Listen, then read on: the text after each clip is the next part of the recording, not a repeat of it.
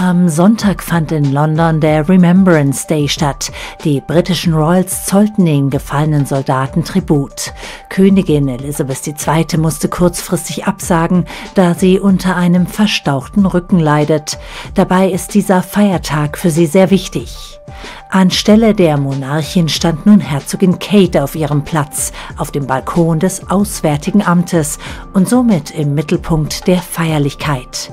Für den Remembrance Day entschied sich Kate wie so oft für ein schwarzes Mantelkleid, dieses Mal mit weißem Kragen. Ein schwarzer Hut und die rote Mohnblume als Symbol für die Trauer um die Soldaten rundeten das Outfit ab.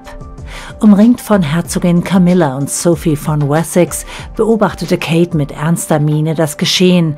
Dass sie in der Mitte stehen durfte, war wohl eine kleine Ehre. Denn an nächster Stelle wäre es naheliegend, dass Herzogin Camilla als Frau des ersten Thronfolgers den Platz der Queen einnimmt. Ob sie ihrer Schwiegertochter den Vortritt gelassen hat? Herzogin Kate strahlte auf jeden Fall das Zeug zu einer Königin aus. Dieser Meinung schienen auch die Queen und Herzogin Camilla zu sein. Am Kenotaph legten die Ehemänner der Frauen Prinz William, Prinz Charles und Prinz Edward Kränze nieder. Der eh schon traurige Anlass des Zusammenkommens wurde überschattet vom Gesundheitszustand der Königin. Schon im Vorfeld hatte die Queen einige Termine krankheitsbedingt abgesagt, war sogar eine Nacht im Krankenhaus. Für sie wäre es der erste öffentliche Auftritt seit Wochen gewesen, gestern dann eine erneute Absage. Eine Quelle gab allerdings Entwarnung, die Rückenprobleme hätten nichts mit ihrem Krankenhausaufenthalt zu tun gehabt.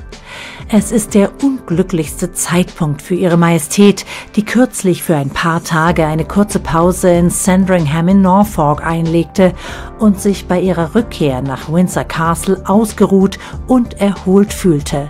In einem Gespräch mit königlichen Ärzten wurde entschieden, dass eine Rückenverstauchung bei einer Autofahrt und einer Stehzeit nicht förderlich ist, so die Quelle gegenüber Mirror.